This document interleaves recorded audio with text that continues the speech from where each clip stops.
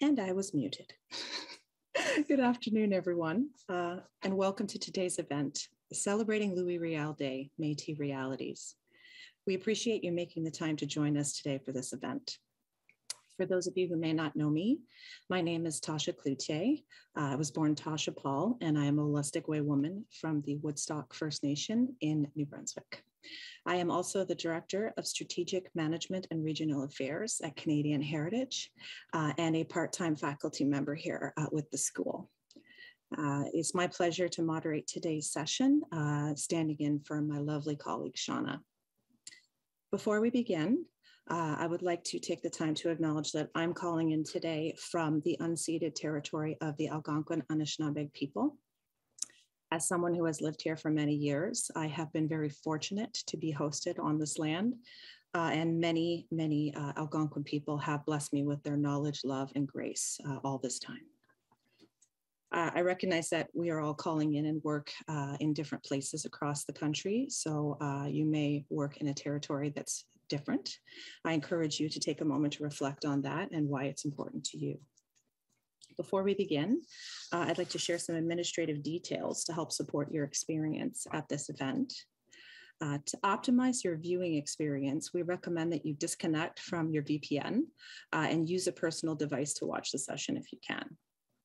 Please note we will have simultaneous interpretation uh, available for this event as well as CART services, which is closed captioning. Please refer to the reminder email that the school sent to you to access these features. Uh, today, we'll be taking questions through the collaborative video interface. Please go to the top right-hand corner of your screen and click the participate button and enter your question along with your email. We may not get to all of the questions, but we will answer as many as we can. Now, I would like to introduce Marie-Louise Perron, a knowledge keeper, St. Paul University, who will provide traditional opening remarks to open our event. Over to you, Marie-Louise.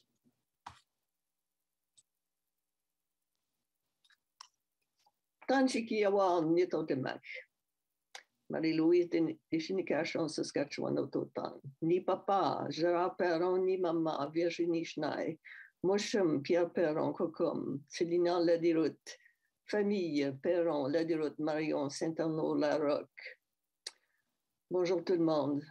Je viens juste de vous dire bonjour et de décliner ma généalogie ma parenté, les familles, vous avez reconnu les, noms, tous des noms francophones.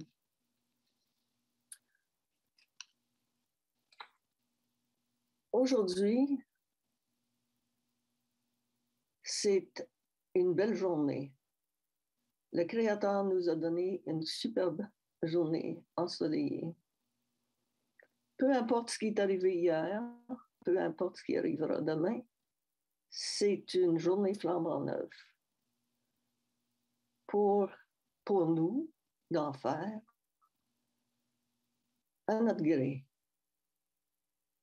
Et en espérant que nous choisirons de faire quelque chose pour faire du bien dans le monde. Étant donné la situation qui sévit ici à Ottawa. C'est le temps, je crois, de se rappeler que nous sommes tous parents. Et quand je dis que nous sommes tous parents, nous sommes parents avec tous les êtres de la Terre. Tous les êtres qui sont de toute nature, que ce soit nous, les deux pattes, les quatre pattes, les animaux, ceux qui ont les racines dans la terre, ceux qui ont des ailes, ceux comme les poissons qui vivent dans l'eau. Et tous les êtres, visibles et invisibles, d'ailleurs. Alors, nous allons parler des réalités métisses. Et pour ça, je rappelle, étant donné la raison pourquoi nous sommes ici rassemblés, qu'on rend grâce au Créateur pour le soleil qui a été donné, pour nous réchauffer et nous donner la clarté. À notre grand-mère, la lune, qui régit les eaux. Des eaux de la terre, des eaux dans les corps des femmes et de tout le monde. Nous rendons grâce au Créateur. Nous rendons grâce, comme je vous ai dit, pour tous les animaux, parce que ceux-là se sont engagés devant le Créateur pour prendre soin de nous, pour qu'on ait de la nourriture, des vêtements, des abris, des médecines. Donc, ils se sont engagés devant le Créateur pour se sacrifier jusqu'à ce point-là pour nous aider à survivre et croître. Donc, je rends grâce au Créateur et à tous ceux et celles qui sont avec nous aujourd'hui, nos ancêtres qui sont disparus. Ils sont ici. Nous les portons dans notre cœur et dans notre ADN. Donc, ils sont ici avec nous. Nous leur demandons de nous donner la parole, notre vérité, juste et bien. Et pour toutes ces raisons, je rends grâce à tous et à toutes. Et je dis, merci, Miigwech, Miigwech, Miigwech. Merci, Miigwech.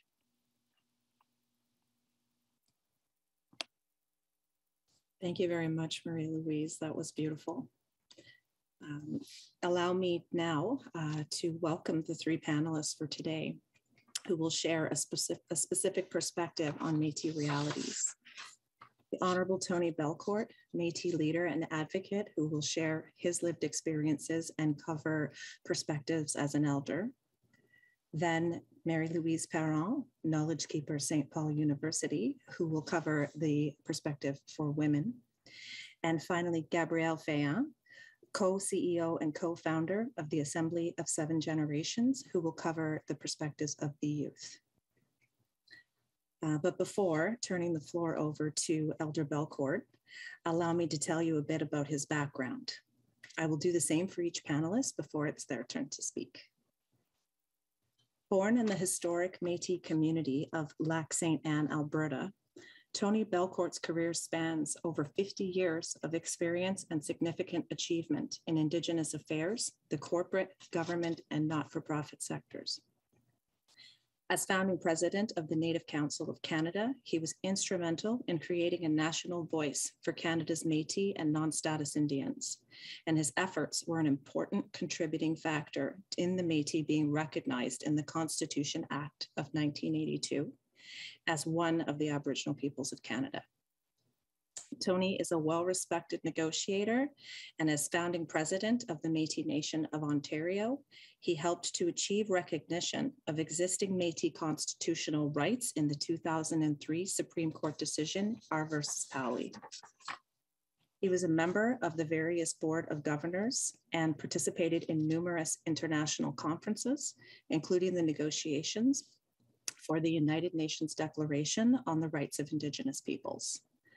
Now widely regarded as a Métis elder, he received multiple awards, uh, such as the National Aboriginal Achievement Award for Public Service in 2006, and was appointed as an Officer of the Order of Canada in 2013. Mr. Belcourt, over to you. Thank you, Tasha, and uh, thank you, Marie-Louise, for uh, a wonderful opening. Um, I don't know that I'm, I'm, giving a perspective as an elder. I'm giving my perspective, uh, and uh, what's it like to be Métis in Canada today? Uh, I can tell you it's a heck of a lot different than it used to be uh, when I was growing up, and Marie Louise would know. Uh, uh, well, Gabrielle, you would know too. You would have certainly come up at, at, that time, or not my time, but a little later. Uh, when I first came to Ottawa in 1971 to head up the Native Council of Canada, uh, my biggest challenge was to uh, create an awareness about the Native people because I think that particularly in Ontario, the, the notion was that Riel uh, uh, was long gone and so were the Métis. And I became a member of the National Press Club and I remember uh, being up there and always people asking me about the Métis people and gosh, didn't know you were still alive and that sort of thing. And uh, offending questions like, what's a Métis? Uh, and it, it, was pretty discouraging. But throughout that, uh, the first 10 year growth of the of our of the Native Council of Canada, uh, we had uh, been able to successfully deal with the federal government on a whole range of issues uh, to get recognized as one of the groups that should receive the federal funding that was being set aside for uh, uh participatory democracy, it was called at the time. And then 10 years later, my, one, one of my successors, Harry Daniels, uh, was president. And he insisted that the word Métis be added to the new patriated constitution, to section 35, uh, which uh, states that existing Aboriginal treaty rights of the Aboriginal peoples are hereby recognized and affirmed. Harry insisted that there be a subclause specifying that, there, that the words the Aboriginal peoples uh, are the Indians, Inuit, and Native peoples. Uh, he knew full well that uh, because of how we've been deal, dealt with before by the federal government, if that wasn't in the Constitution, they would always say, well, um, that own constitutional section only applies to the Indians and the Inuit because we have an Indian Act and because of the Supreme Court decision in uh, 1936, uh, we have to deal with the Inuit uh, you're you still continue to be um, fall under the jurisdiction of the provinces. Go see them for whatever you need. So we were very successful. There's an interesting story about how that came about.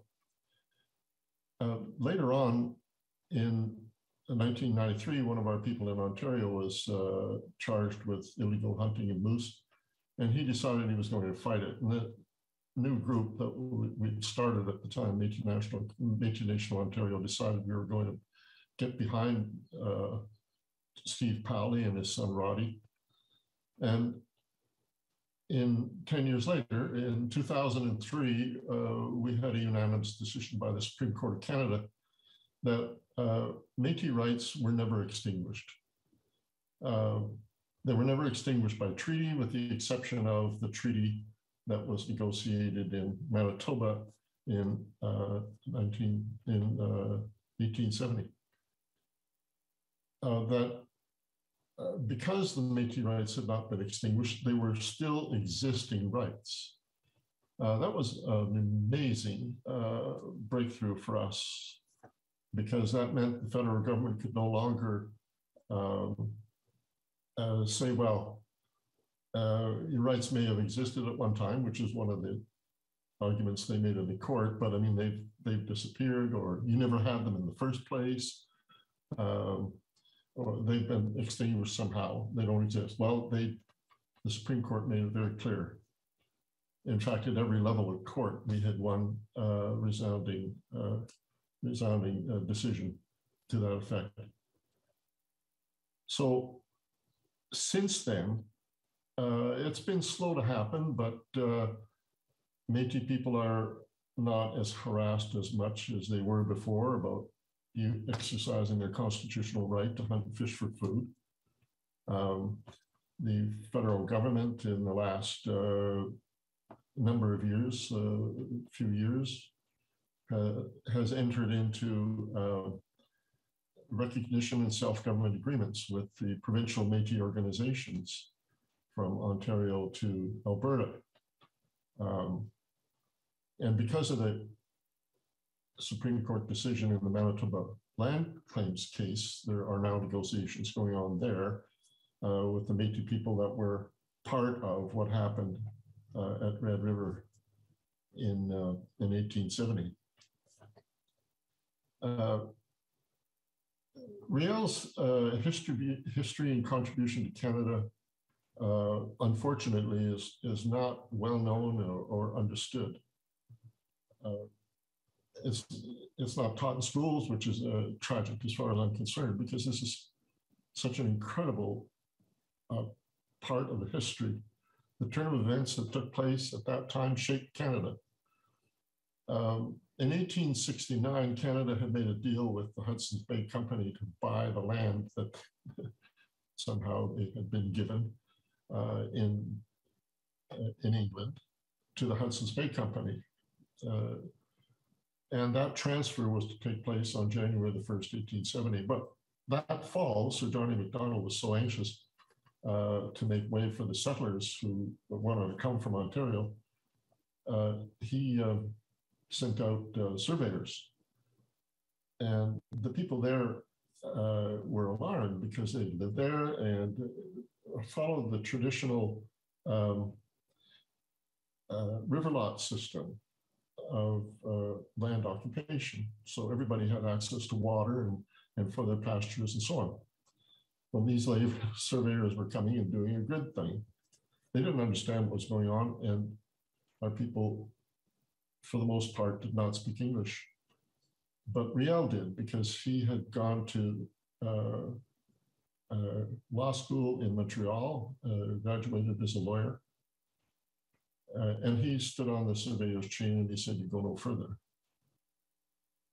Uh, that caused an uproar in Ottawa, no doubt. Uh, and Sir John A was incensed. But the British Parliament said because of the Royal Proclamation in 1763, uh, you are required to negotiate with the Métis.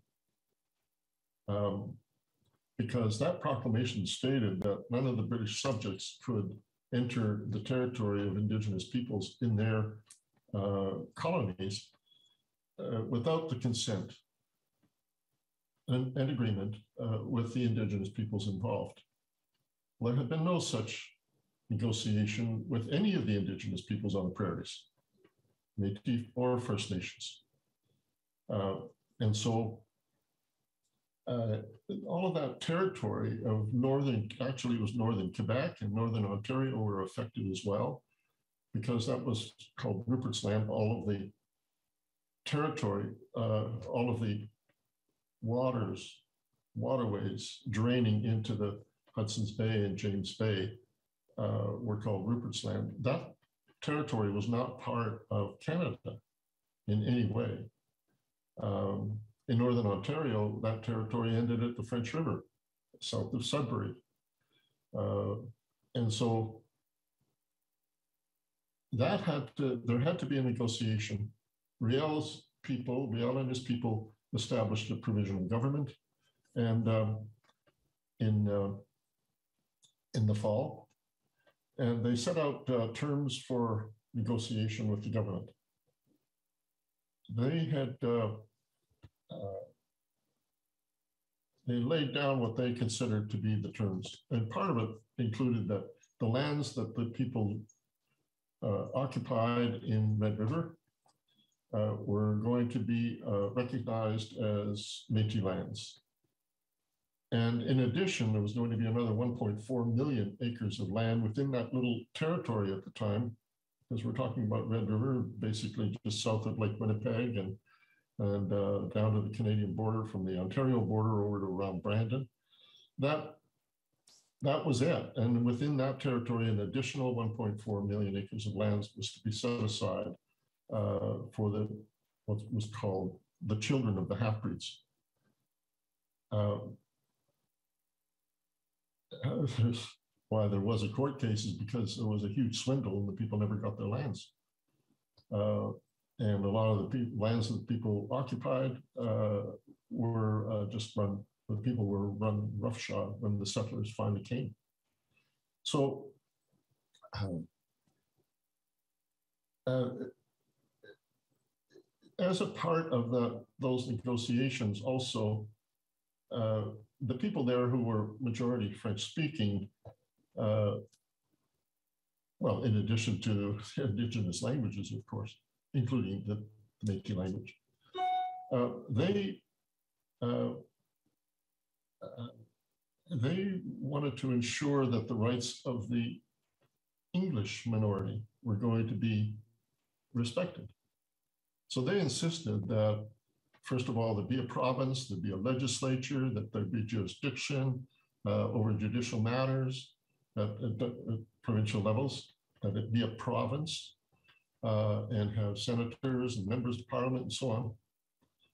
Uh, but also that all of the uh, uh, uh, legal matters in Manitoba were to be in both official languages, the courts, the legislature, and so on. Manitoba, to its great chagrin, in uh, what about 20 years ago, Marie Louise, I think, uh, something like that, uh, found out that they had not been living up to their constitutional obligations, and so all the all the laws and legislation, so on, had to be translated into French um, or into English, uh, no, into French, because everything was going on in English. They just completely uh, disputed or disagreed or ignored, rather, the, uh, the responsibilities. Uh, Riel and many people left. Riel had to leave because there was a bounty on his head of uh, 5,000 dollars, which we equated to uh, many, a few hundred thousand dollars in, about 20 years ago in Canadian money. That was all paid out. So he fled to the United States.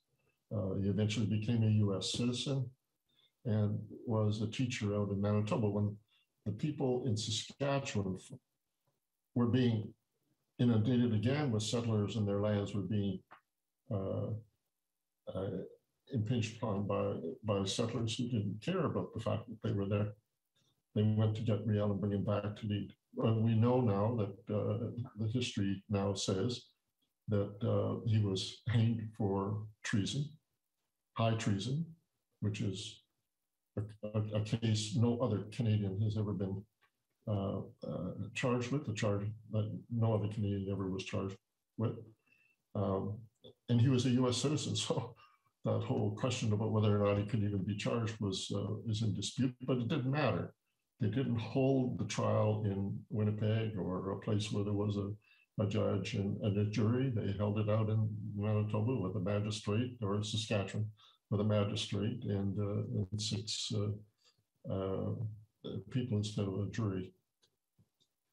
Uh, Riel was hanged, but it was a, an incredible legacy uh, that he left for the Native people. And another thing was for the First Nations, because one of the terms of entry was that Riel and the provincial government, the people at Red River, considered this to be a Métis treaty. They considered this their treaty. And they specified that once uh, the agreement had been entered, entered into with Canada, then they would be obliged to enter into treaties with all of the First Nations. And as a result, all of that territory in Rupert's Land then became negotiated, not all of it, but most of it, uh, into what we call now the number treaties from 1 to 11. There's other areas, as we well know, that were not covered uh, and people are still involved in, in treaty negotiations in the Northwest Territories uh, and in uh, British Columbia, and in Ontario too, uh, with the uh, Anishinaabe people. So that's just, a, I guess, a little bit of a history lesson. Uh, to say that that being Métis in Canada today, for me, is profoundly different than when I was growing up. But on the other hand, I feel sorry for Métis, younger Métis people who don't have uh, this knowledge being taught. there's still a lot of discrimination everywhere. Uh, and, uh, and, and it's only recently that people have started to feel free uh, to be proud and to express their pride in being Métis. Uh, so I want to thank you very much for uh, inviting me to participate today. Uh, it's always a pleasure for me uh, to uh, to take part in in panels like this, especially with these two wonderful people, Gabrielle and Mary Louise. And I thank you very much, Tasha. Oh, thank you very much, Tony. That was excellent. Uh, I want to remind those of you who are watching that you can ask questions at any point during uh, during the event by using the raise your hand function. Uh, it'll prompt you to enter your email address uh, in the collaborative video interface and the questions will be sent in. So I'd like to introduce uh, our second panelist now. Um, uh, before turning to uh, Madame Marie-Louise Perron, uh, please note that her presentation today will be in French. And in some cases, participants may wish to switch to the simultaneous interpreted English channel. Uh, simply click settings on the top right-hand corner and select English. Now allow me to tell you a bit about uh, Mary Louise's background. Uh, Marie Louise Perron was born on her grandfather's land in Saskatchewan. She is a descendant of Red River Metis and early French newcomers. She holds education and fine arts degrees from the University of Saskatchewan and a master's degree in ethnology from Laval University in Quebec. Through different careers, from high school teacher to visual artist, author, archivist, and public servant, she has maintained the storytelling tradition of her people. Now retired, Marie Louise pursues historical and genealogical research, offers workshops on tracing Indigenous ancestry, studies traditional violin, and participates in many stories of many styles of storytelling.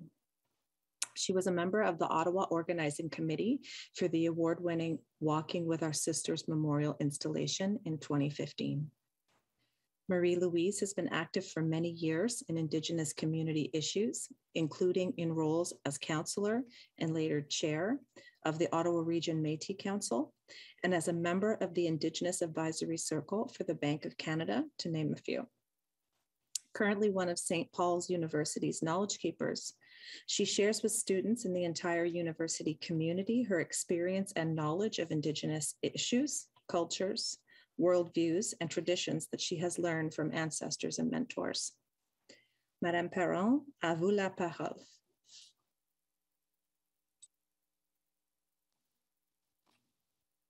Merci beaucoup, Tasha. Merci aussi euh, à Alénie Belcourt. L'histoire qu'il a racontée, c'est l'histoire, c'est l'histoire de ma famille. Les, tout ce qui est arrivé, tout ce qu'il lui a raconté est arrivé à mes ancêtres. Mais j'étais déjà adulte quand j'ai su qu'on était métis, parce que je ne le savais pas. J'ai grandi ignorant le tout de ma culture métisse. Aujourd'hui, je porte la ceinture fléchée de mes ancêtres. C'est une ceinture fléchée, une vraie. Elle date du temps de Riel. Et dans le musée à Saint-Boniface, il y a euh, une montre vitrée avec une ceinture fléchée qui ressemble exactement à celle-là. Alors, quand je porte cette ceinture fléchée, je pense toujours à Ariel. Et je pense à son histoire. Il a été pendu. On a essayé de lui dire, essayé de dire à la population qu'il était fou et qu'on n'avait pas droit, comme défense, ses avocats, ont essayé de le juger, de le faire juger innocent parce qu'il était fou. Et quand Riel a eu vent de ça, il a refusé les services de, son, de ses avocats et il a décidé de se défendre lui-même. Parce qu'il avait tellement de confiance en la justice. Il croyait que si il racontait ce qui, ce qui était arrivé, que les gens sensés lui donneraient raison, qu'il y avait eu une injustice perpétrée sur les métis et que tout le monde allait comprendre. Malheureusement, c'est pas ça qui est arrivé. Mais je vais juste dire un tout petit mot sur ce qu'on appelle la folie de Riel. Parce que c'est vrai qu'il a eu des périodes de maladie mentale. C'est vrai. Il a même passé du temps dans un asile à Québec. Quand j'habitais Québec, je reviendrai sur ce sujet-là l'asile où Louis Riel avait été interné était juste quelques coins de de chez moi, d'où j'habitais. Mais tout ça là, tout ça là, je ne le savais pas. Je ne le savais même pas. C'était, c'était extraordinaire. Comment est-ce qu'on peut cacher quelque chose d'aussi énorme?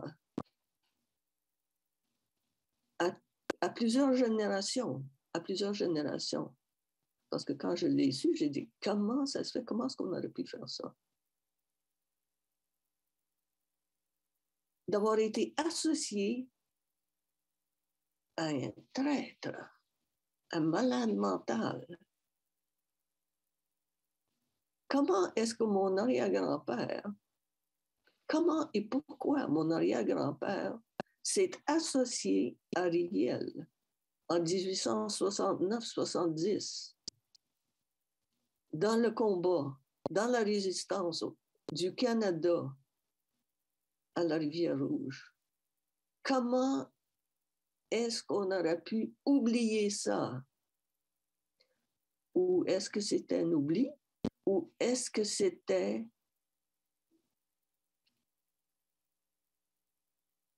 une clandestinité. Est-ce que ma famille a adopté la clandestinité comme moyen de s'assimiler à la population environnante, d'abord en français puis ensuite en anglais, ou bien est-ce que c'était juste pour survivre?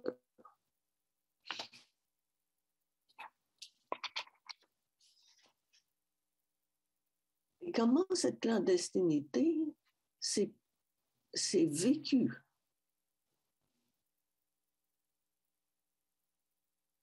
Notre parler français, pourtant, n'était pas comme le parler français de nos, de la famille de ma mère, par exemple, qui n'est pas métisse.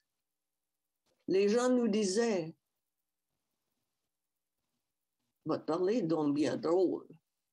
S'ils ne disaient pas, vous parlez mal. Mais je ne savais pas que notre parler, c'était le français Mitchif.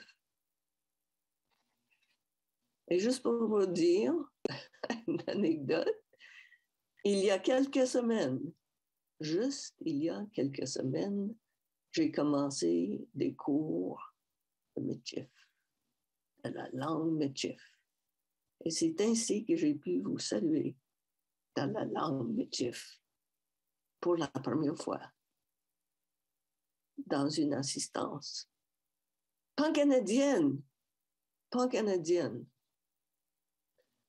Donc, je suis un tout petit bébé dans le réapprentissage de ma propre langue. Mais c'est quelque chose que la technologie aujourd'hui, qui nous cause tellement de problèmes ailleurs dans la société, aussi ses bons côtés parce que ça me permet de réapprendre ma langue, qui je suis dans ma propre langue. À mon âge, à mon âge, Alors, alors, comment la clandestinité est-elle vécue chez nous? Il y avait des sujets tabous. Les gens s'autocorrigeaient. Les gens ne faisaient pas référence à leur, les éléments culturels qui auraient pu les identifier comme étant autochtones. Et tout ça a continué jusqu'en 1980. J'étais à Québec en train de faire ma thèse de maîtrise en ethnologie et mon sujet, c'était les chansons traditionnelles, les chansons traditionnelles françaises. Je voulais savoir les chansons traditionnelles françaises, je voulais connaître le trajet qu'elles avaient pris de la France, à mes ancêtres français, au Québec, ensuite sur le parcours canadien. Et là, je suis tombée sur les voyageurs qui ont transporté toutes ces chansons à travers le pays. Pas juste, pas juste en Saskatchewan, mais partout, partout au pays. Et drôlement, ce sont aussi les chansons qui m'ont mené à mon vrai chez moi, chez mes ancêtres métis.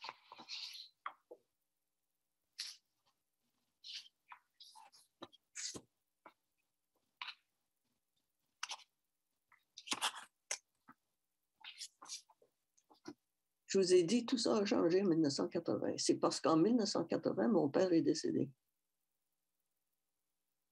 Et comme par hasard, j'étais en Saskatchewan en train de faire du terrain pour ma tête sur des chansons. Alors, avec tout le, tout le tracas des funérailles et tout ça, j'ai mis de côté mon travail, mes interviews sur ma thèse. J'ai mis de côté aussi la pensée que là, il faudrait que, que je reprenne le travail. Mais là, c'était le temps de rendre visite et avoir des conversations, des conversations avec ma parenté. Et dans les conversations avec ma parenté, la loi du silence était levée complètement. Les gens ont commencé à parler. Et quand je les, je les ai interviewés pour ma thèse, ils ont raconté des histoires, chanté des chansons, des contes, des légendes, parfois de la, de la source française, mais autrefois la source parfaitement autochtone. Comment le renard est devenu roux? Pourquoi les perdrix sont achetés aujourd'hui? Pourquoi le vautour n'a pas de plumes sur la tête? Tout ça, ce sont des contes animaliers autochtones. Je ne connaissais pas non plus l'histoire que Tony vient de raconter. Je ne la connaissais pas. Jusqu'à temps une cousine de mon père, me disent que notre arrière-grand-père, son grand-père, avait participé aux événements à la rivière Rouge.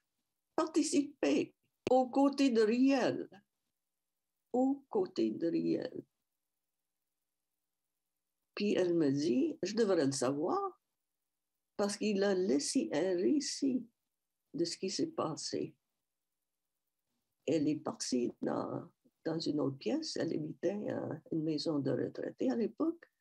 Elle est partie dans une autre pièce, puis elle est revenue avec un récit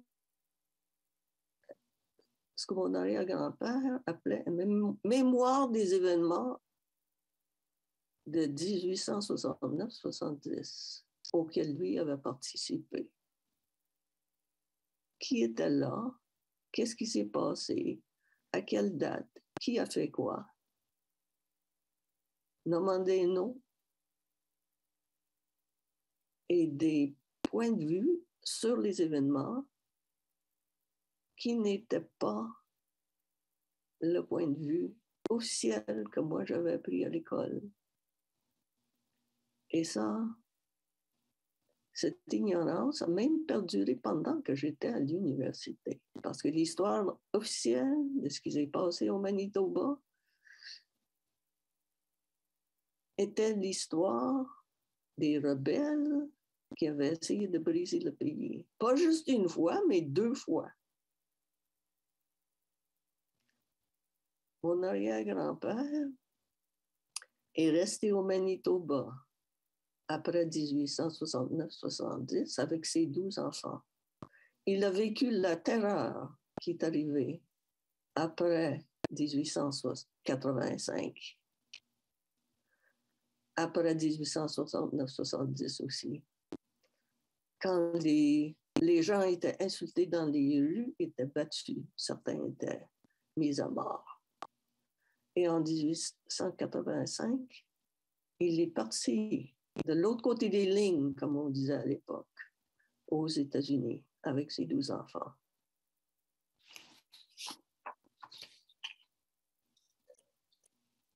Et là, je me dis, ah là là, là, ça veut dire que moi, je fais partie des, des rebelles, des terroristes, dont on a pendu le leader ce malade mental qui a essayé de briser le pays, pas juste une fois, mais deux fois. Et ça, ça mettait mon grand-père dans ce groupe-là, qui était associé à ces gens-là.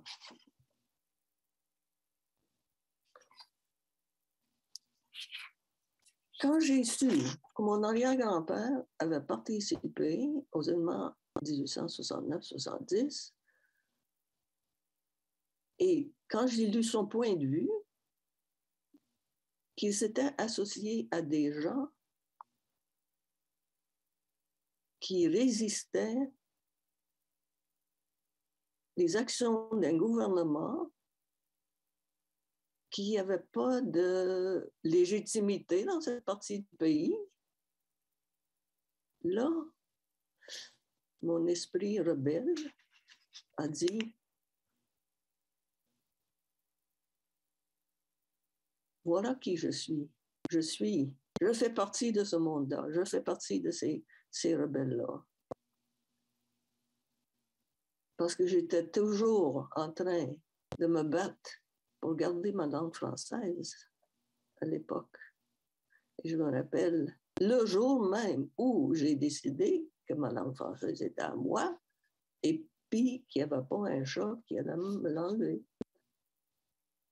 Et je l'ai gardé et ça m'a toujours servi. Quand j'étais dans une partie du pays où on parlait anglais, j'avais du travail parce que je parlais français. Quand j'étais dans une partie du pays où on parlait français, j'avais du travail parce que je parlais anglais. Ça m'a toujours bien servi. Une fois que les conversations avec les membres de la famille, les histoires, les contes, tout ça là, j'ai commencé à regarder mes propres souvenirs de mon enfance pour voir s'il y avait des indices là, s'il y avait eu des indices là, qu'on aurait pu être métis. Et là, j'ai trouvé des mots qui n'étaient pas des mots français, des l'accent qu'on avait dans notre français, ce n'était pas l'accent français du Québec. Et quand j'ai trouvé les documents, parce que j'ai hérité des documents de la famille, ça m'a dit, voilà qui je suis. Alors j'ai tout de suite, suite dit à mes frères et sœurs, Hey, vous autres là, on est des métis, on a une histoire extraordinaire qui a, qui a fait partie de l'histoire du Canada. Nos peuples, notre peuple métis, a, a créé une partie de l'histoire du Canada et mes frères et sœurs ont dit, on ne parle pas de ça.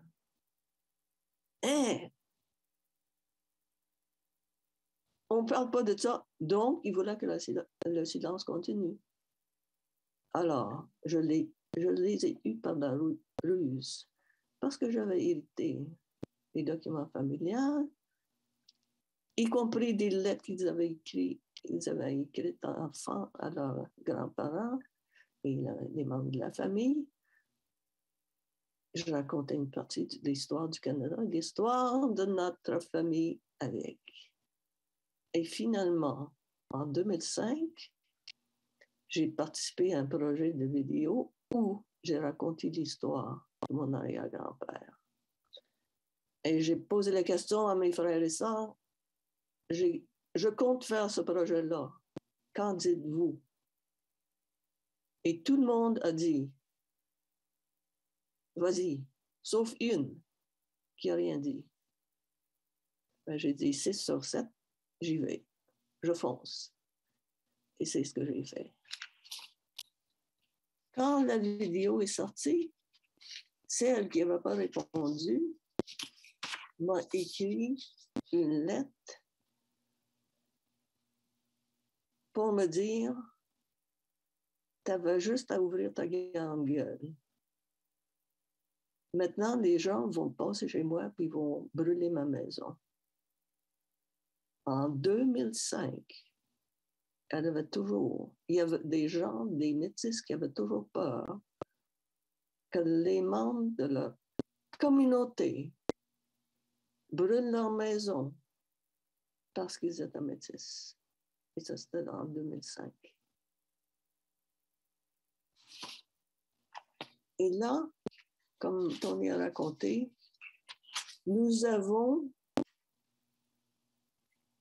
euh, obstiné comme on peut l'être, comme métis. On a gardé foi de notre, de notre histoire, de notre rôle dans le Canada. Et aujourd'hui, on raconte notre histoire fièrement parce qu'on sait que même handicapé d'une maladie mentale de temps à autre, Riel a pu faire des choses extraordinaires, absolument extraordinaires. Aujourd'hui, on reconnaît que la maladie mentale, ce n'est pas une description de la personne, c'est une maladie. Mais qu'est-ce qu'on peut, qu'est-ce qu'on peut accomplir? Mais qu'est-ce qu'on peut accomplir? Cet homme-là, il a aidé à bâtir le Canada. Et un Canada qui était censé reconnaître une place aux métis dans la Fondation du Canada. Alors, pour Riel, c'est un héros. Pour les métis, c'est un héros pour moi. Et c'est pour ça que je suis ici aujourd'hui pour vous en parler. De parler de qui il était pour moi de qui il était pour notre famille. Et pour parler de toutes nos relations aussi. Et de rappeler aux gens que nous sommes tous reliés. Nous sommes comme les deux faces d'une médaille. Impossible de scinder en deux. Parce que nous sommes parentés, nous sommes, tous reliés par des liens de parenté avec la terre et avec les uns les autres. Commençons à agir comme des gens qui sont parents, à se croire, à croire à l'histoire, à croire à notre parenté et aider et s'entraider les uns des autres. Parce que la Terre en a besoin aujourd'hui. Et nous aussi, on en a besoin. Des fois, même aujourd'hui, je rencontre des gens qui disent Ah, ton père a choisi pour toi. Va maintenant faire ton lit avec ceux qu'il a choisis. Mais il y en a d'autres, métis et Premières Nations, qui me disent Il y a temps. Faisons un bout de chemin ensemble sur cette terre merveilleuse à qui nous appartenons tous. Et à cela, je reprends courage. Et je fais le prochain bout de chemin qui s'ouvre devant moi. Merci de votre écoute.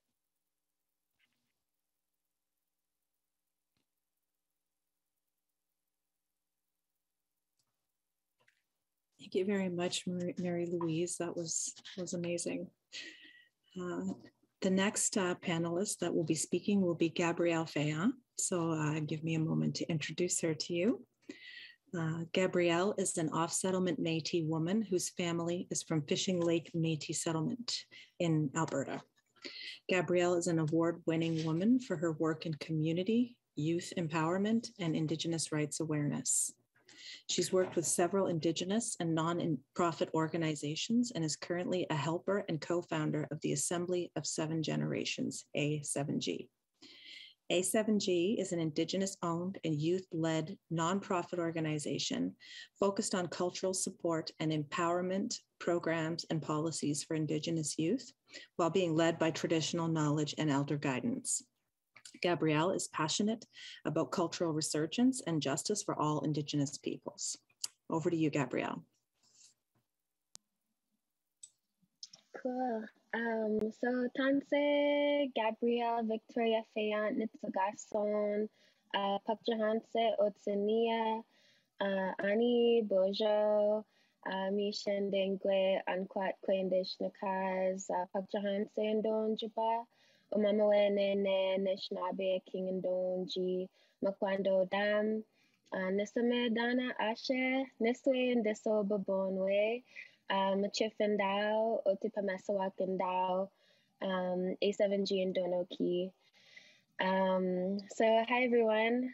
Um, my name is Gabrielle Victoria Fayant. Most people know me as Gabby. Um, and I was I was really like brainstorming how I was gonna present this and talk about my reality as an as a Métis person so I'm not sure where I'm gonna start off, but here we go.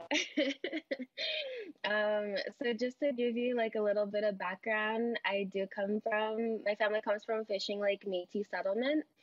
Um, my dad and my aunties, lots of my cousins and uncles, um, still live in Fishing Lake to this day. Uh, Fayant is a pretty popular name in Fishing Lake, um, also related to the Parontos um, Tates, and uh, all kinds of folks um, with those lineage. Um, my family originally started out um, in in Ontario and Quebec in the late 1700s, um, and we moved. We kept on moving um, right up until the 1900s. We kept going west and further west and west. Um, we fought in the Red River Resistance. Um, we were carete- carekeepers for the horses. Um, we've been taking care of the horses for several generations now. Um, and Gabriel Dumont uh, actually uh, wrote our family a letter to ask us to take care of the horses during the resistance.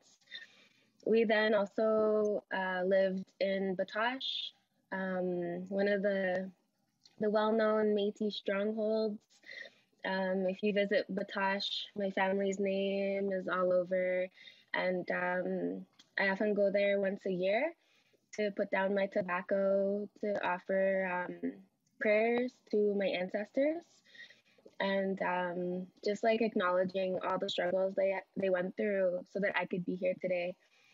Um, later, we were also um, part of the road allowance people. Uh, we lived in severe poverty, um, but despite living in severe poverty, like my my kokums and my chapans, they still like rock their best furs and their best beadwork and their caribou tufting and you know their most beautiful. They always presented themselves so beautifully. Um, you would never be able to tell that these these folks were living in severe poverty and off of um, you know just hunting uh, and trapping rodents and squirrels and uh, groundhogs and things like that.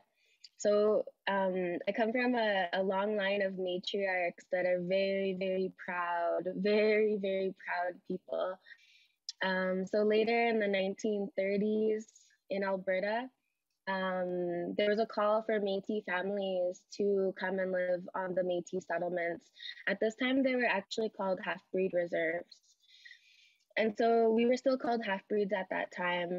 And so there was a call for families to come and, and live in these settlements that were being created.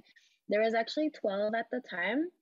Um, but from from the 1930s until now, uh, some some went through extreme hardships, and there's actually only eight Métis settlements uh, today.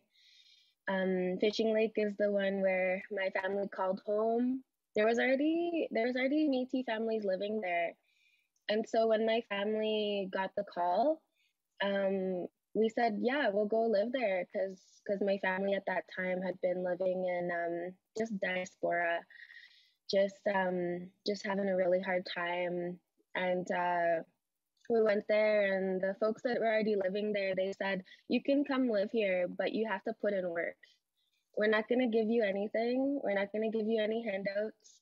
You're going to have to build your own homes. You're going to have to to also give back to community." And so, giving back to community is something that is instilled in, in me and my family to this day.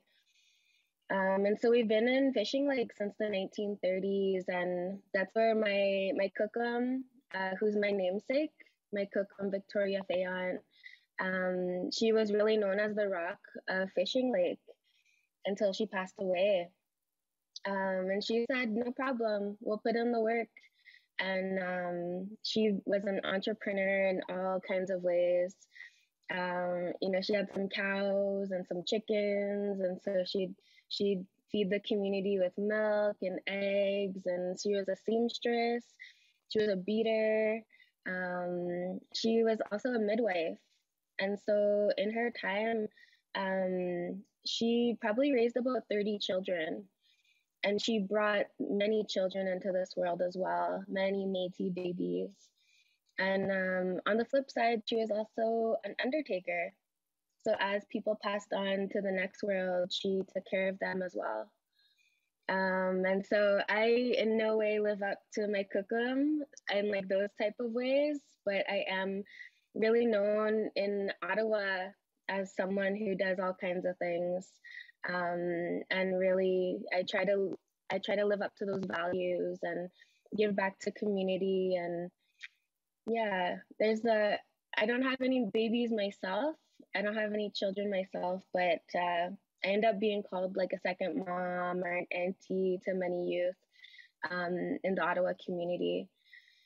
So myself in particular, I I don't want to speak for all Métis youth because that's like a huge population of many different experiences.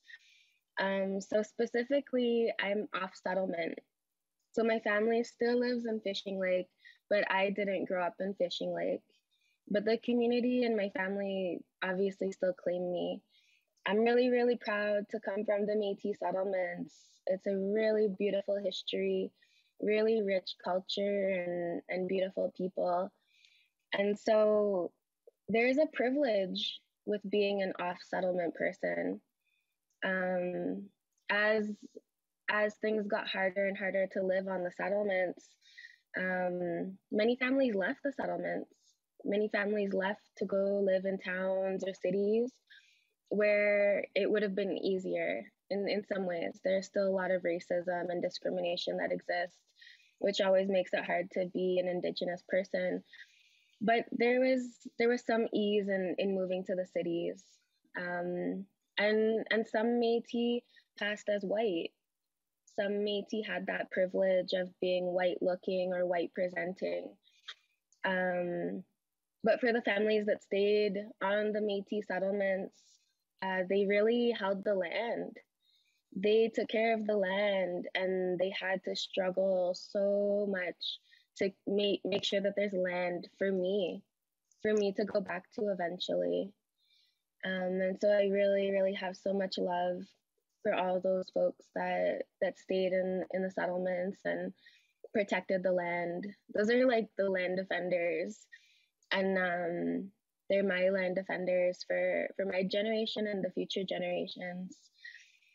Um, so living off settlement um, and being a Métis person uh, with that that history and that family connection um, it was not easy.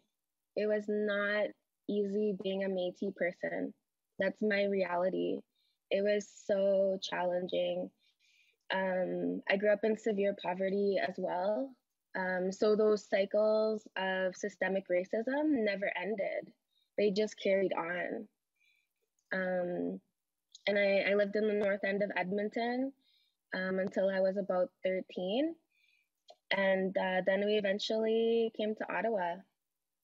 And uh, in Ottawa, um, I still experience many of the same the same realities, living in severe poverty, um, to the point where my mom used to panhandle.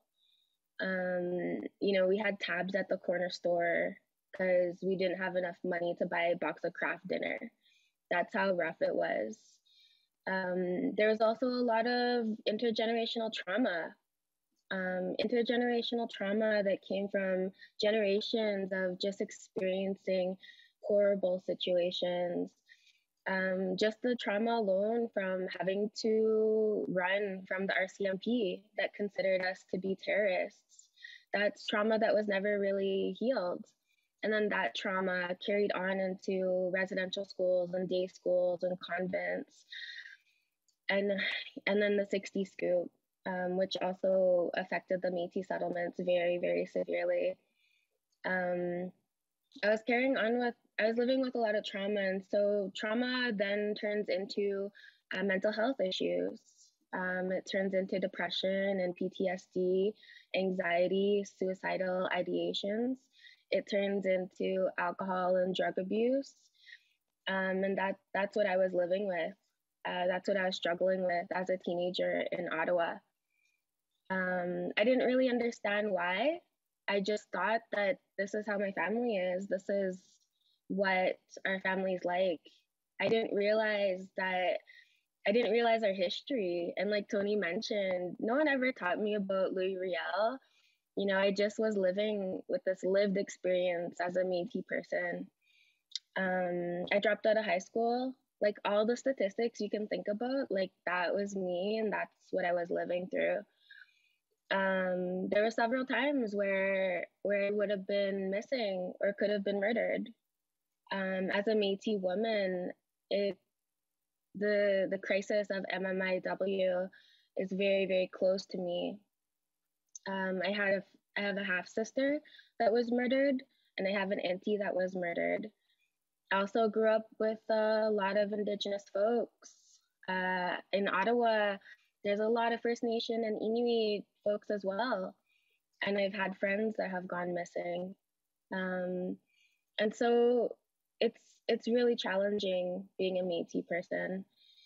Even to this day, um, I still feel scared to to go out by myself.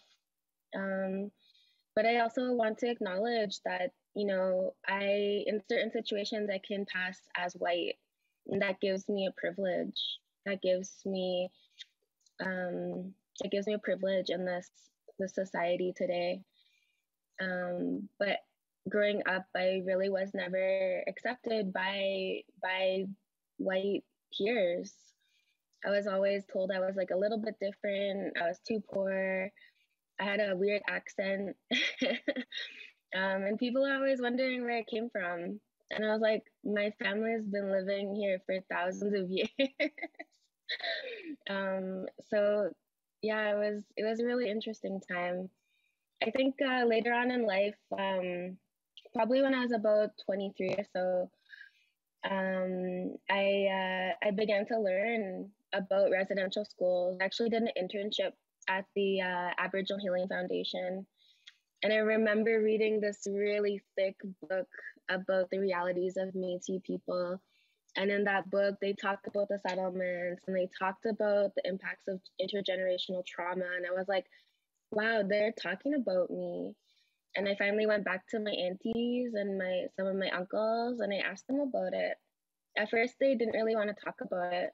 Uh, they they said, "Oh, you know, that's just how it was," um, but that that shouldn't have been how it was. The treatment that Métis folks went through over the last 200 years is inexcusable. It's unacceptable, and it, it it shouldn't be normalized and so finally, you know, years after bringing up those conversations, a lot of more folks in my family are being more open and they're talking about their experiences and they're they're finally healing and saying that no, that's not right. Um, and there is a lot of trauma that we have to get through. And so now more and more of my family is moving back to Fishing Lake. And um, it's it's really nice to see to go home to Fishing Lake and see my godmother that lives there and my cousins and my aunties and you know I go back and we hear those songs and um, there's there's still jigging. Fishing Lake is known as a community with some really good jiggers, but on the flip side, Fishing Lake is also um, a community that lost a lot of our hunters. So that's the really cool thing about the settlements is that there's the way that we explain the eight communities and the eight settlements is that it's kind of like a, a federation of different communities and each community has its own strengths and even cultures in a way and even different languages because some of the northern communities um, have like a Dene influence. So um, we're not all the same. And I really I really get frustrated with that idea that all Métis people are the same. Like as you even listen to me and Tony and Mary Louise, we're very different. You know, we all have different experiences. Um, and I think that while we have a lot in common and our, our shared history is is what connects us, we have to acknowledge that we're also different in some ways and that our family stories deserve to be heard, all of our family stories. Um, so that's like, I don't even know if that's what I planned on saying, but that's what came out. um, yeah, I, I really have a lot of pride in being Métis. Um, just from the settlements, though, you know, in the last census, there was over 500,000 folks that identified, that self-identified as being Métis. Um, but the Métis settlements are actually less than 5,000 people. So within the larger conversation of, of Métis identity and culture, I find that the settlements often get uh, ignored. Um, a lot of a lot of uh, folks from the settlements, you know, we don't we don't have like a really high university graduation rate. A lot of folks that had to that left the settlements um, and grew up around privilege, they often have that university. But there's a a bit of a, a gap that happens, or like a bit of a tension that happens, because um, folks that have like lived on the settlement and and protected that land they might not talk as as like like professional or with that academic language um, but they still have so much knowledge and, and understanding of the land and then what happens is folks that have gone through university and that formal training have a different way of speaking almost. Um, and so there's a bit of a tension that happens. Um, and uh, I just wanted to to acknowledge that that just because someone doesn't know their history as a Métis person or has like a really strong Métis accent or um, any of those kind of things doesn't mean that they deserve to be treated less than. And going through formal formal education and university gives you so much privilege. Um, and so I just want to encourage folks to to listen to those voices that don't get listened to enough because there's so much there's so much knowledge there. Um, so I guess I'll I'll leave it at that and just say uh, Chimigwech, I hi. Um, thanks for listening and thanks for having me.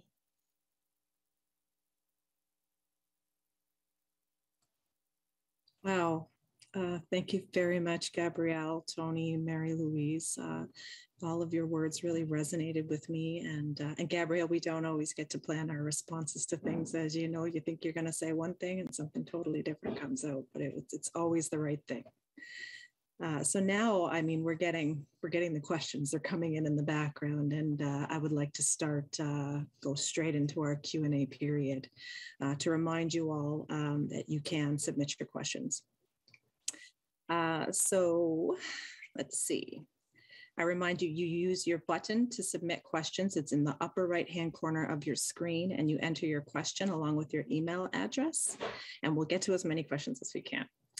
Uh, the first question, uh, I think, I think this one would be a great one for Tony, uh, but uh, Marie Louise and Gabrielle absolutely have an opportunity to weigh in. Uh, question one is, could you share the history about why Métis rights were considered to be under the provinces and not recognized at the federal level?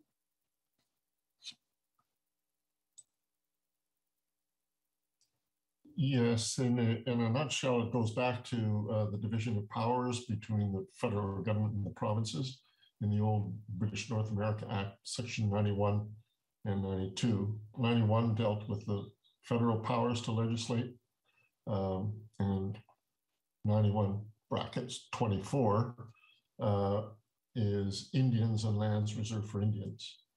Uh, provinces under 92 have uh, more uh, legislation for things more close to home, like hospitals and highways and so on. Canada has uh, national defense, finance, all of these other things, federal provincial relations, and transfer of money, collection of taxations. So 9124, Indians and lands reserved for Indians. So until 1936, or before that, uh, the federal government took the position, well, well, they started to define who the Indians are uh, First Nations people were not part of any of this discussion. It's the federal government that decided, okay, you'll define who an Indian is. Uh, and have to live on a, uh, well, not necessarily, but you had to be registered by the quotes chief of membership for Indian affairs at the time.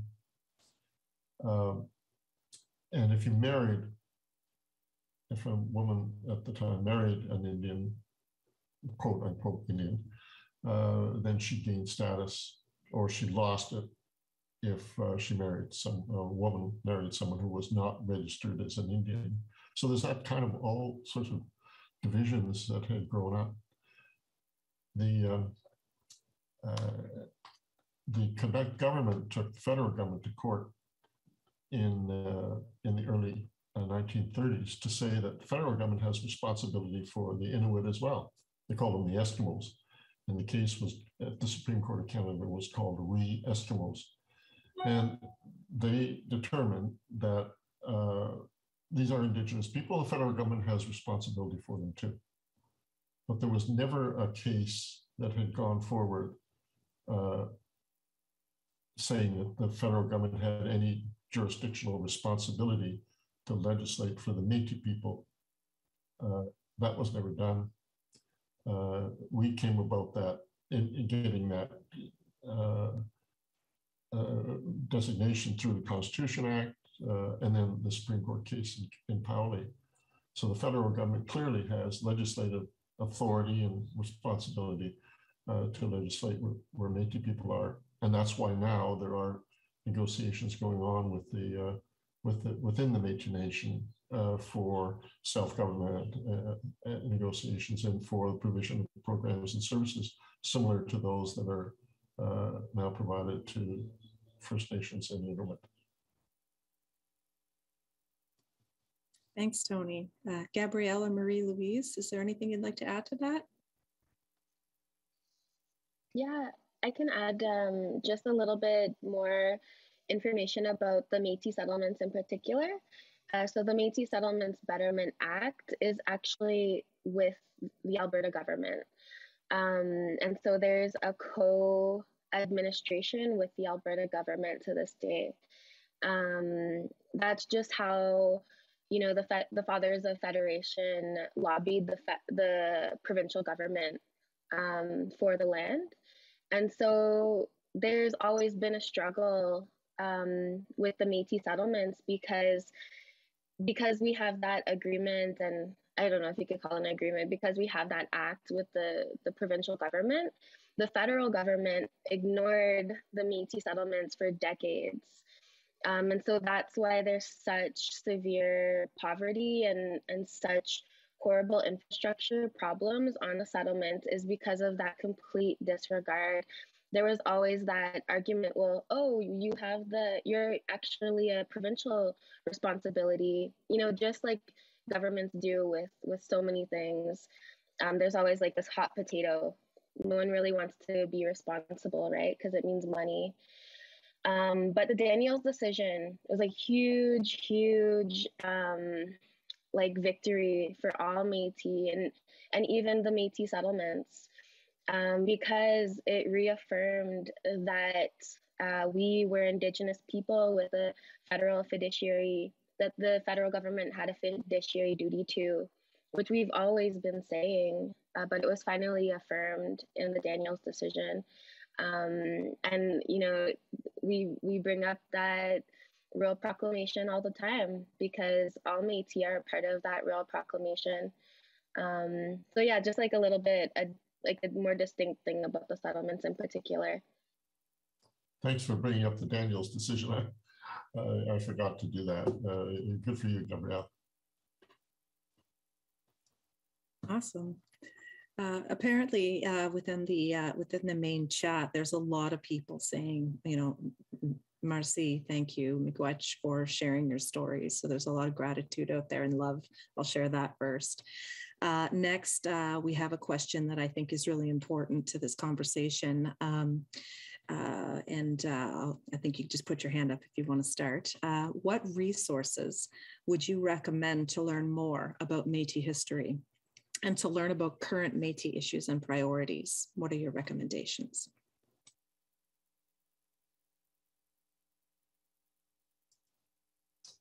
Um, there's a couple of excellent sources. One of them, I think the best, is uh, um, the uh, Gabriel Dumont Institute.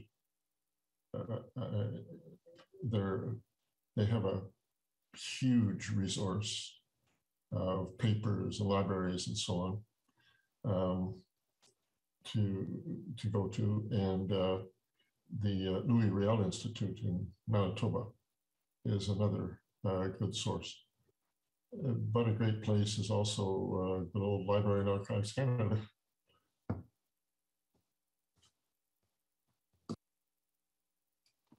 Thanks, Tony. Marie-Louise? Uh, les gens qui me connaissent uh, savent que j'ai travaillé uh, longtemps à Bibliothèque et Archives Canada. People who know me know that I worked for a long time at Library and Archives Canada.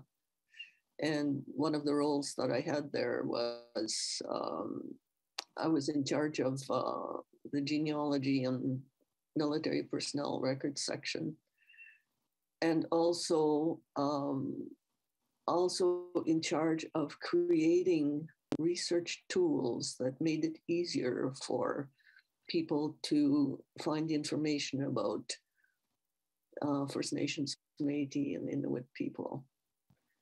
So we created we created uh, workbooks that that explain to people because finding records about uh, Indigenous people at Library and Archives Canada is extremely difficult.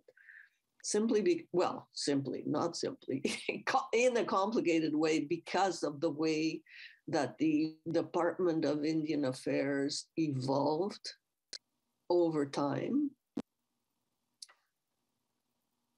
The kinds of restrictions that were imposed on, on records uh, in some cases, there were records that were hundreds of years old where restrictions were still being imposed.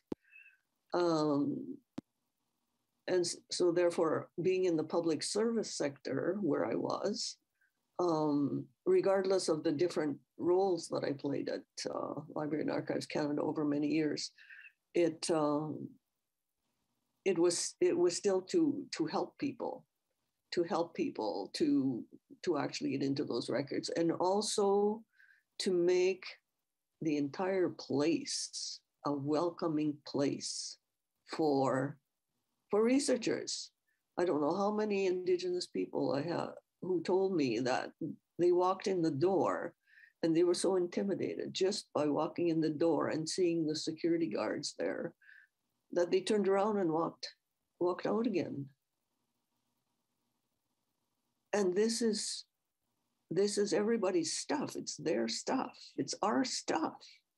So therefore therefore my role was to to make it less intimidating and make it more um, more approachable and to also get the information out into the communities about how what the library and archives uh, workings were teaching people about how to do genealogy and where they might find information about their about their ancestors. And of course indigenous ancestry because of the convolutions of the of the indian act and tony was mentioning a couple there about um, about women who who married out married out as in they uh, they didn't marry uh, in the, uh, First Nations men or or Métis men, uh, and therefore they were kicked out of the kicked out of the their homes uh, on the reserve. They had they, lo- they lost everything. They lost all of the rights, and then the government initiated a, a convoluted convoluted regulations about okay what about the kids of these people? What about the grandchildren of these people? Well there are some that fall into this category and some that fall into that category within the same family so it created huge divisions within families. It's just it was just horrible. I mean it, and it it's it's not finished yet. We still haven't got to the point where the um, where the results and the intergenerational trauma of those regulations continue uh, continue today, especially especially to women. I mean, women have had to fight for everything that they have achieved, and um, we from from the beginning from the beginning we were in those canoes. We were in those canoes, and if we had to paddle, we paddled. If there were children born on the on on the on the trail, they were born on the trail. They picked up their kids and they continued whatever their role was, whether it was in the canoes, whether it was on the trail, whether it was um, looking after the people on the hunt, whether regardless of what it was. So uh, think twice before you cross Métis women.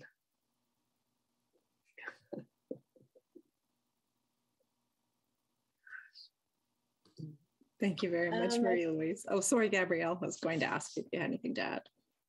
Yeah, just add really quickly. Um, like the first place I would start for the general public is to just visit like the Métis Settlements General Council website. Um, so there's a lot, like be, like as I mentioned, Métis settlements are a smaller population in the larger Métis population. and there's a different lived experience. And so a lot of the larger research, it kind of just overwhelms the smaller voices. So I'd really recommend going to the Métis Settlement General Council uh, website for more specific stuff on Métis settlements. Um, and uh, I also would recommend building relationships with people. Uh, the Métis settlements are so like tight knit that there's a lot of um, like protection over our stories and and who we are. Um, and so you have to build relationships with folks. folks aren't gonna tell you what's going on until like they can trust you. Um, and then lastly, I would just add onto Mary Louise's point. Um, there's a lot of like men in Métis history, like Louis Riel, Gabriel Dumont, even the Métis settlements, the fathers of Federation so look at that but also know that for every one of these men that's like considered a hero there's like 10 Métis women that supported that that man and we're like you know whipping his butt and just getting him into shape. And you know Métis women are just deadly. Like i don't know about you but my aunties they're the ones who run the show. you know, they're the ones keeping track of people where they're at. so that's the other part, important part about being Métis is that when you're Métis, it's not just like a bloodline or lineage, but it's literally people holding you accountable. So you can't just say anything you want or make up things because your family and your aunties in particular they're going to hold you accountable. Um, and so there's a responsibility in identifying as Métis. Um, so yeah, I'll just leave it at that. I want to I want to uh, to come back to the to the aunties because uh, it was the aunties who were the guardians of the culture. It was the aunties who taught me who I was the aunties and the great aunties. And now, in my role, because I have no children, it's my role as an auntie to teach them to my nephews and nieces. And I still teach my brothers and sisters as well, those who want to, those who want to listen to me. Go aunties. oh my Lanta, I feel like I'm gonna cry. Um, aunties, aunties, where I come from, great aunties. I lost one of my aunties in November to COVID nineteen, so um, believe me that I I know that loss, and I don't have any siblings, uh, so I get to be auntie to people I choose. I love that too. So thank you for that. Um, you know the quality of your presentations and the two Q's and A's we were able to squeak out before we had to move on is absolutely excellent. Thank you so much. Uh, so now um, there were some other questions that weren't able to get answered, and we'll try to find a way to address them. Uh, but for now, uh, I just want to say thank you, Oliwan, Miigwech, Marcy. Thank you uh, for everything that you've done and, and, given to us today as, as a group. Uh, and I would like to turn the floor over to Tony to deliver our closing remarks. Thank you. Uh, thank you, uh, Tasha, and Marie Louise and Gabrielle. Uh, and I want to thank the uh, organizers uh, for arranging this. I'm glad it's being taped, and, and I hope that we're going to be able to see all the questions later on, and we can then try to respond to people that have written in uh, the um, uh, the thing that I'd like to say is that you know we we have different ways, uh, as Gabrielle was mentioning, we have very different ways uh, within our communities and even individuals. Uh, many of our people follow um, either Catholic or Anglican uh, religion in some some places, but many of our people also follow uh, uh, spiritual traditions that have been passed down by their grandmothers and their aunties. Uh, when I look at my history, I, uh, I, I don't say that I'm I'm a descendant of the men who went out there. I'm a descendant of the women who took the visiting men coming in. And that's, I'm extremely uh, proud of, of all of that. Um, when we have gatherings, uh, traditionally we want to say to everyone that we are wishing them all a safe journey uh, to go to their homes. Um, well, this is Zoom, so uh, we can't say that kind of thing, but uh, we can wish that everyone will uh, uh hopefully uh, have come away from this with, with a better understanding of who the Métis people are, that it will help to develop better relations between our peoples, and that we're going to be able to also look into things more and more about the traditional ways of our people in terms of dealing with um, with uh, with healing and and uh,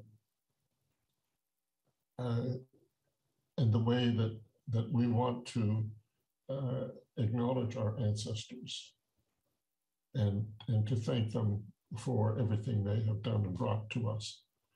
And that applies to everyone.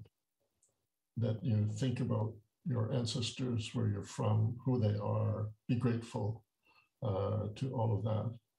And we also, uh, many of us, uh, pray to our ancestors when we want to bring the spirits of them together on uh, important occasions. Uh, we do that and, and saying also when they pass that we want them to go safely on their journey. We want them to transition and go safely, continue on their journey into the into the new spirit world. So I want to wish everybody a safe journey. Merci. Thank you so much, Tony. That was beautiful. Um, I just want to, uh, again, thank you all for being here. Uh, on behalf of the school, uh, again, to extend my thanks to the Honorable Tony Belcourt, uh, Madame Marie-Louise Perron, and Gabrielle Fayant, and all of you across the country for participating in today's discussion. It was, it was beautiful. I hope you all enjoyed it as much as I did. Your feedback is also very important to the school. So I encourage you to complete the electronic questionnaire that will come to you in the next few days. Uh, the school has is always always busy, forever busy, and has several other virtual events to offer. I encourage you to check our website regularly and keep up to date with the latest news, uh, register for upcoming opportunities, and uh, many of which are focusing on Indigenous uh, matters and themes. Uh, for example, there's some virtual events uh, coming up in the next few months. There will be one on the United Nations Declaration on the Rights of Indigenous People, uh, the Decade of Indigenous Languages, which has been decreed by UNESCO, uh, and the duty to consult and accommodate, everyone's favorite. So once again, thank you all and have a great day. Bye.